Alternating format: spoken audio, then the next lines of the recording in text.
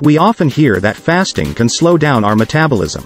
Many studies have shown that short-term fasting can actually boost metabolism by increasing levels of the hormone norepinephrine. This hormone helps to break down body fat for energy, leading to weight loss. On the other hand, some research suggests that very long fasting may indeed slow down metabolism. But this appears to be correlated with the associated weight loss from a long fast.